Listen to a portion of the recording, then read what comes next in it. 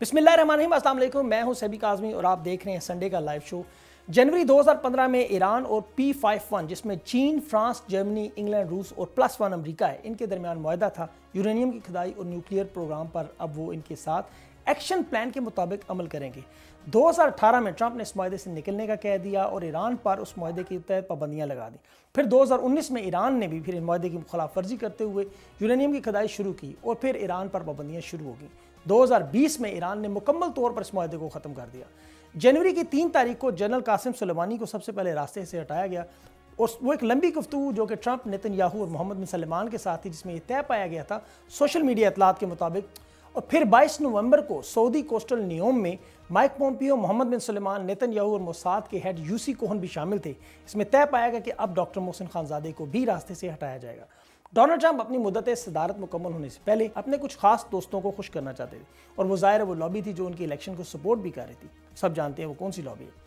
Iran की bargaining power को खत्म करने की कोशिश की गई। अब देखना यह कि Joe Biden joint comprehensive plan of action चलाएँगे या ट्रंप की पॉलिसी को आगे बढ़ाएँगे। मकसद सिर्फ़ ये है कि ईरान को इतना बेजर कर दिया जाए कि अरब अमारात सऊदिया बहरीन या इसराइल के लिए किसी किस्म का खतरा ना बन सके। कुछ मीडिया के लोगों ने अरब टीवी पर शोर मचाया कि ईरान सऊदिया पर हमला कर सकता है, लेकिन अगर ऐसा हुआ तो फिर जो बाइडन बिल्कुल भी जेसीओपी पर अमल नहीं करेंगे। ईरान दुनिया को यह भी बता दिया है कि चाहे कुछ भी हो, किसी भी इस्लामी मुल्क पर हमला नहीं होगा। और उसके साथ चार मुल्कों का ये इतिहाद पाक दुनिया भर में ये साबित भी करेगा कि देखें, हम ना कहते थे ईरान ख़तरनाक है और फिर ये उन दो बड़े लोगों की हलाकत को भी भूल जाएँगे। ईरान के लोग इराक में अमरीका की तनसीबात पर हमला करके अपना बदला लेना चाहते हैं, लेकिन सऊदिया किसी सूरत में या किसी और इस्लामी मुल्क पर हमला जेर गौर नहीं। ऑयल रिफाइनरी पर इराक में हमला हुआ था, वो इराकी हुकूमत को पता था और उन्होंने इस पर कोई एक्शन नहीं लिया था, ये आपको याद होगा। ईरान बहरहाल अपना एटमी प्रोग्राम ज़रूर कंप्लीट करना चाहता है। हिंदुस्तान ने सऊदिया को कुछ अर्सा पहले न्यूक्लियर प्रोग्राम पर ऑफ़र की थी, लेकिन ओबामा और फिर ट्रंप एडमिनिस्ट्रेशन ने इसे मंजूर नहीं किया था। एक बात याद रखना होगा कि इसराइल अमेरिका अरबों के हक में ज़रूर है, लेकिन इतने नहीं जैसे उन्होंने यूएई को राफेल तैयारे नहीं लेने दिए। कल ईरान में रजीम अगर बदल जाए या यूएई में या सऊदिया में तब्दीली आए तो ये सब कुछ उनके खिलाफ भी इस्तेमाल हो सकता है। पाकिस्तान किसी सूरत में सऊदी ईरान की लड़ाई नहीं चाहता, क्योंकि दोनों इस्लामी ममालिक हैं। इमरान खान ने इन दोनों के दरमियान सालसी की कोशिश पहले भी की और आगे भी करते रहेंगे। पाकिस्तान की ये ख्वाहिश है कि ये इतिहाद कायम रहे। अभी अरब अमारात में इसराइली साइंसदान मौजूद होने की इतलात हैं। जो कि सोशल मीडिया पर फैली हुई। इब्राहिम अकार्ड अमन माहा तेरह अगस्त 2020 में हुआ। इसराइल अरबों को न्यूक्लियर मदद देने के लिए तैयार है और दुनिया के बड़े लीडर्स अब B and W brave new world की तरह एक बार फिर नए इतिहाद बना रहे हैं, नई डील्स करें बिल्कुल उसी तरह जिस तरह दुनिया की वर्ल्ड वार वन और टू में यूरोप के ममालिक ने आपस में माहे किए थे। इस वक्त जो बाइडन के राइट हैंड टोनी ब्लिंकन यहूदी हैं वो ए आई पी सी के ज़रिए इसराइल को अरबों का एक मेंटोर बनाना चाहते हैं। और ऐसा हुआ तो वर्ल्ड वॉर थ्री के लिए दुनिया तैयार है। खबरें गर्दिश कर रही हैं कि ईरान के दो बड़े टारगेट हासिल करने के लिए इसराइल की नामी सेटेलाइट निज़ाम इस्तेमाल हुआ, जिस पर टारगेट पर नज़र रखी जाती है और ये बेहतरीन जूसी, जासूसी के लिए एक सेटेलाइट का निज़ाम है। अब इंडिया भी इसराइल से ये चाहता है ताकि चीन पर और ख़ासतौर पर पाकिस्तान पर नज़र रख सके और ये दोनों ममालिक के लिए एक बड़ा ख़तरा हो सकता है। लेकिन उम्मीद है मारखोर बिल्कुल अलर्ट है और अपने हाई प्रोफ़ाइल लोगों को बचाने के लिए अपनी तरफ़ से मुकम्मल इंतज़ाम कर चुके हैं। इन सब बातों के बावजूद अगर आप कुछ दिहाइयों से अरबों की सियासत को देखें तो उसकी हालत बहुत ख़राब है। मिसाल के तौर पर पूरे खलीज ने सदाम हुसैन का तख्ता उलटने के लिए चौवन अरब डॉलर अदा किए, लेकिन हुआ क्या?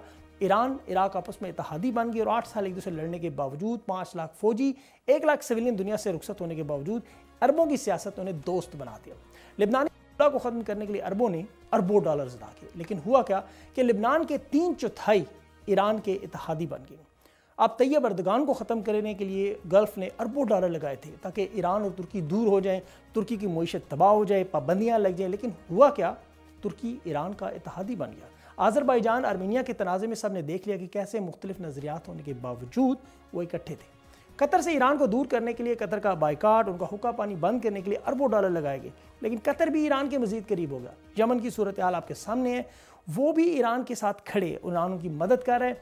इवन के गल्फ ने हुसी बागियों को भी अरबों की अदायगी की, लेकिन यमन का तीन चौथाई हिस्सा ईरान का इतिहादी बना हुआ है। खलीज ने ईरान को जोहरी फ़ाइल पर माहा ख़त्म करने के लिए अमरीका को भी अरबों की अदायगी की।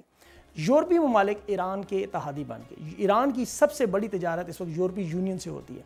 ये बात साबित करते हैं कि जो काम अरबों डॉलर से करना चाहते हैं, अरब वो होता नहीं। पाकिस्तान को भी अरबों डॉलर कर दिए गए, लेकिन उसमें कैंप में शामिल करने की कोशिश थी, लेकिन पाकिस्तान, तुर्की, रूस और ईरान और चाइना के कैंप की तरफ़ चला गया। इसलिए अरबों की ये अरबों की रियासत, की सियासत नहीं चल सकती। पेट्रो डॉलर गेम स्लो है। आने वाले दिनों में क्या होगा, ये मैं आपको बताता रहूँगा। लेकिन आज के प्रोग्राम में मेरे साथ retired general major Amjad Shoaib साहब मौजूद हैं। वो आपको पता है जियो पोलिटिकल और पाकिस्तान की पॉलिटिक्स पर बड़ी गहरी नज़र रखते हैं। उनसे एक छोटी सी ब्रेक के बाद कुछ सवाल रखते हैं। मेरे साथ रहिए, मिलते हैं एक ब्रेक के बाद। अभी जो ईरान और सऊदी अरब के दरमियान जो अभी एक आपको पता है, एक तनाज़े की सूरत हाल जा रही है। अभी उनकी फ़्लाइट्स भी इसराइल को उन्होंने अलाउ कर दी अपने गुजरने की, वहाँ से अपनी फ़जाई अपनी फ़जाई हदूद से। तो ये हालात किस तरफ़ जा रहे हैं?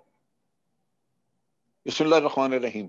देखिए, ये जो इसराइल को इनग्रेस मिली है यहाँ पे, वो इनकी अपनी खलीजी कंट्रीज़ की इनसिक्योरिटी और अमेरिकन प्रेशर ये अभी तक तो अमेरिका से सिक्योरिटी लेते रहे आपको याद होगा कि अमेरिका ने अपने एयरक्राफ्ट कैरियर और बहुत बड़ा बैरी बेड़ा ला के खलीज के करीब यहाँ पे पार्क किए रखा। लेकिन वो पैसे वसूल करते थे, सऊदी से इनसे वो खर्चा मांगते तो नेचुरली ये एक ऐसा अरेंजमेंट था जो कि कमर्शियल नेचर का था। और इसराइल भी मोस्ट प्रॉबली उस पर बहुत मुतमिन नहीं था। लिहाजा अमरीकी भी यहाँ पे बेड़ा शेड़ा रख सकेंगे और उसके साथ साथ आप देखिए कि इसराइली अपना इंटेलिजेंस नेटवर्क और हो सकता है कल को कोई इनकी डिफेंसिव कॉपरेशन वगैरह भी हो।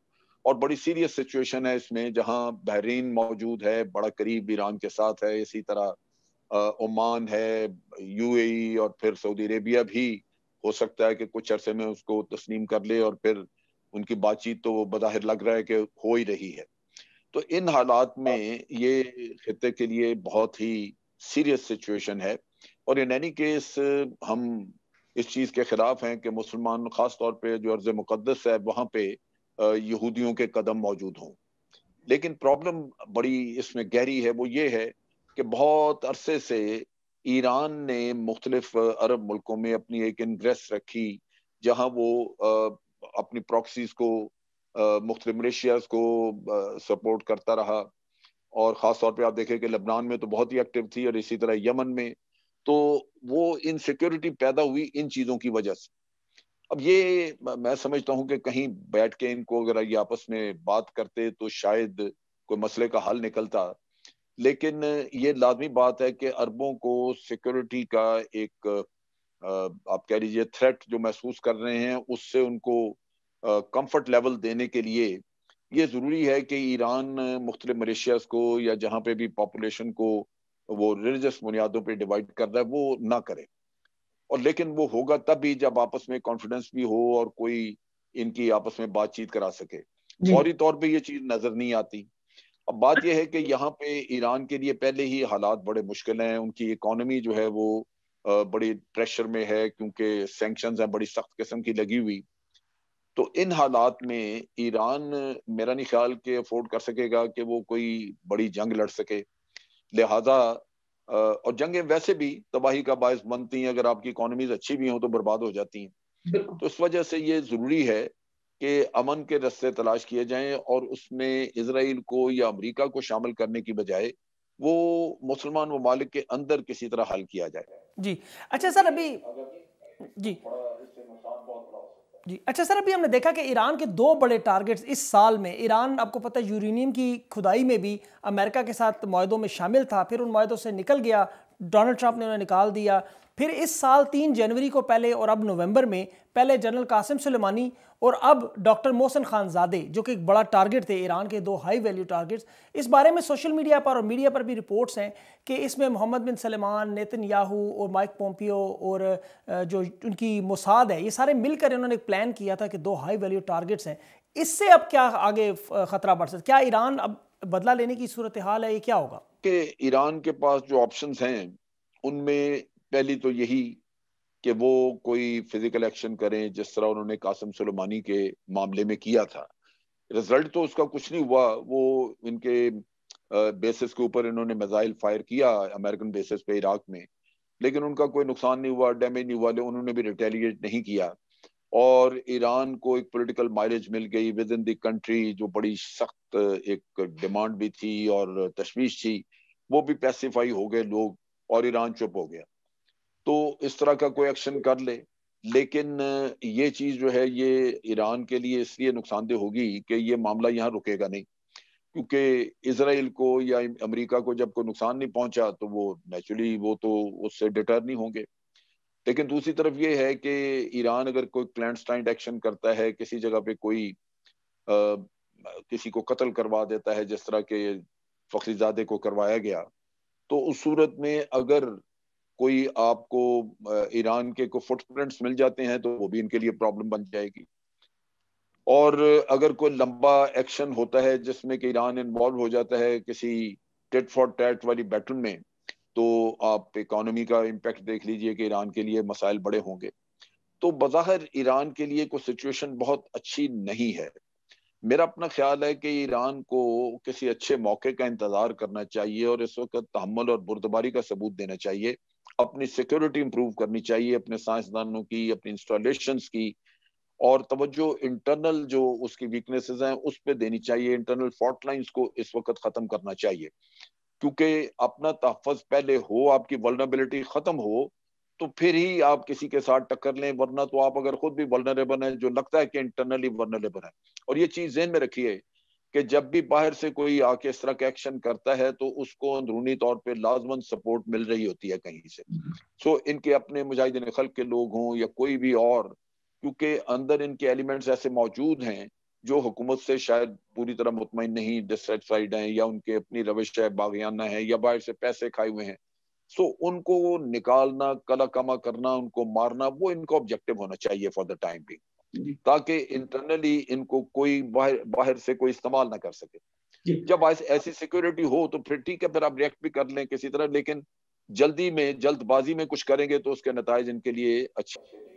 अच्छा सर इसमें जासूसी का नेटवर्क जो था वो इसराइल का इस्तेमाल हुआ जो रिपोर्ट्स है सेटेलाइट सिस्टम जो उन्होंने हाई टारगेट्स तो अब वो इंडिया वही सिस्टम जो है वो मांगना चाह रहा है इसराइल से ताकि पाकिस्तान और चाइना पर नज़र रखे। तो क्या पाकिस्तान के हाई वैल्यू टारगेट्स जो हैं वो भी खतरे में आ सकते हैं?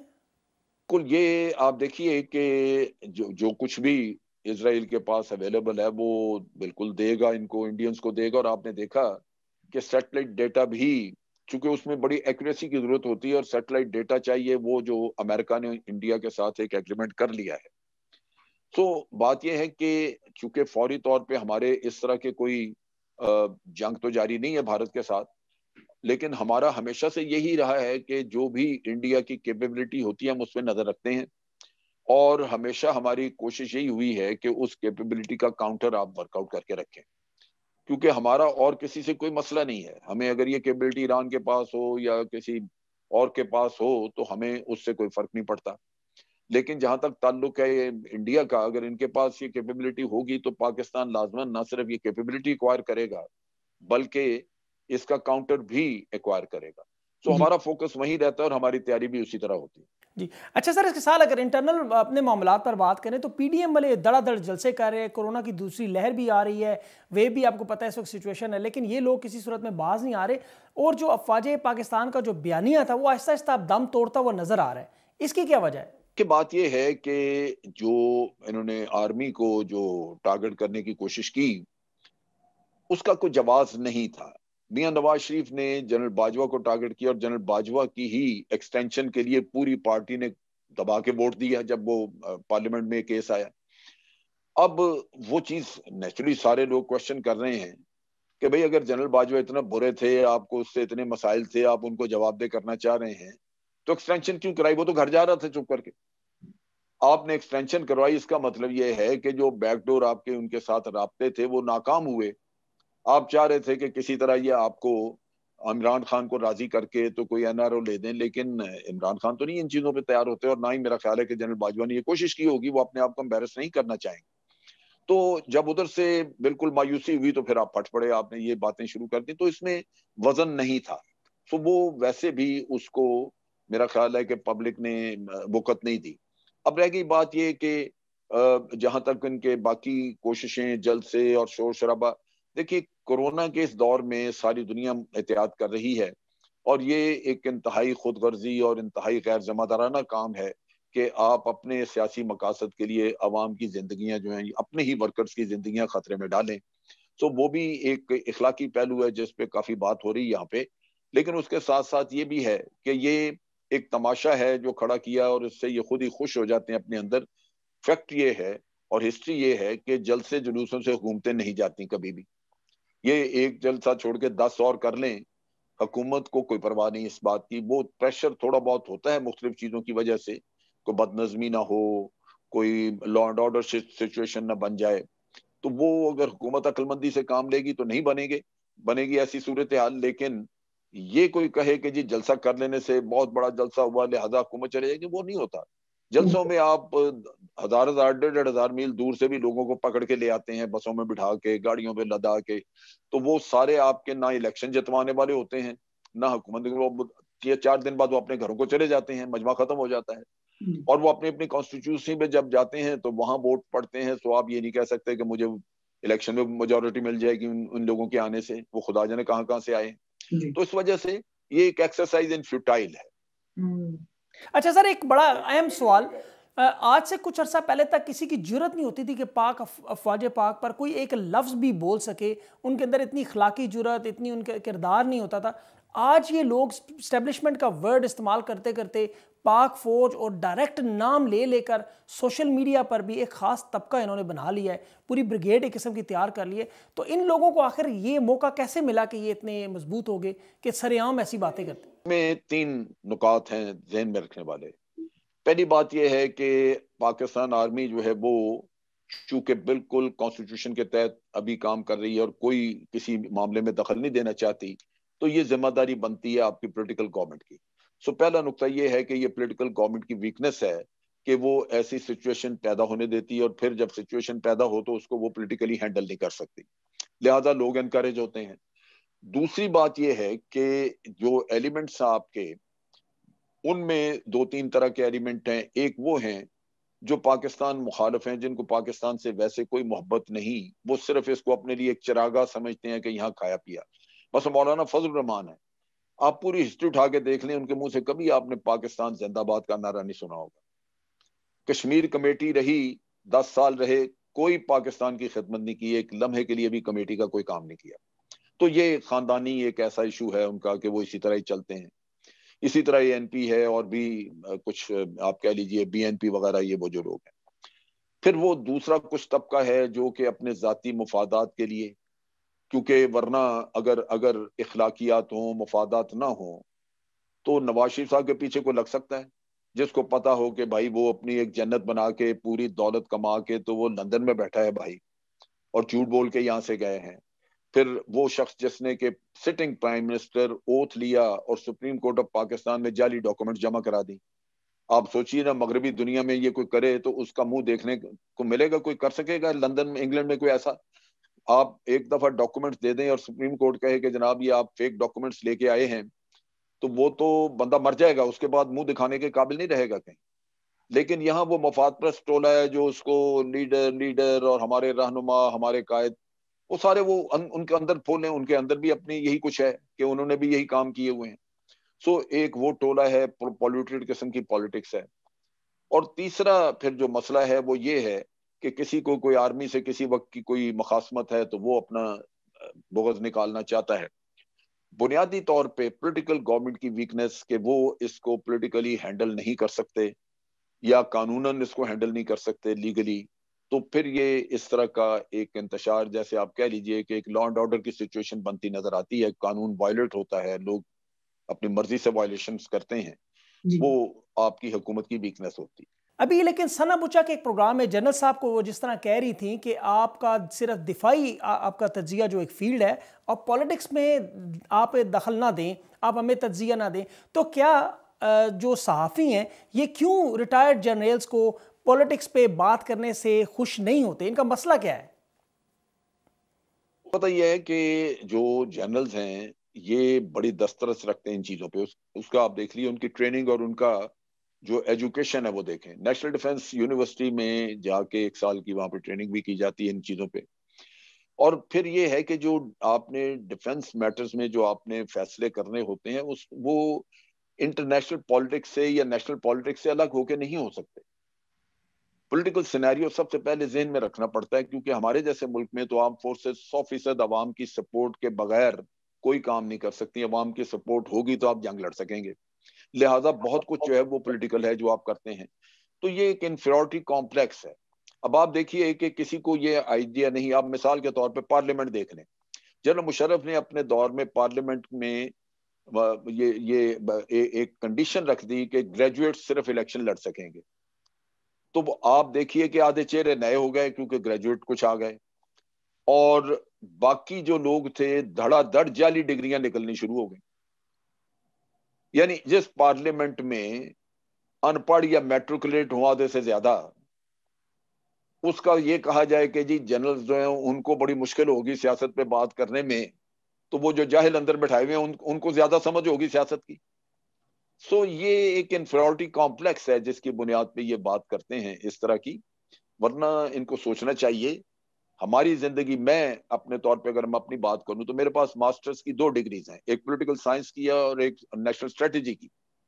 और उसके साथ साथ मेरे पास तजर्बा इतना है कि इनमें से अक्सर की उम्र से ज़्यादा मेरी अपनी ज़िंदगी जो प्रैक्टिकल लाइफ मैंने गुजारी है thirty eight years in the army और फिर twenty years again in in in this political arena तो इक्कीसवां साल है मेरी रिटायरमेंट का। तो बात यह है कि हमें तो जो तजर्बा और जो वीएन हमारे पास है वो तो इनके फरिश्तों के पास भी नहीं। तो ये सिर्फ़ ऐसे इस तरह की फजूलियात बोलनी आ, मैं काश उस मीटिंग उस उस प्रोग्राम में अगर मैं होता तो मैं जवाब देता और आईना दिखा देता कि क्या है। लेकिन बहरहाल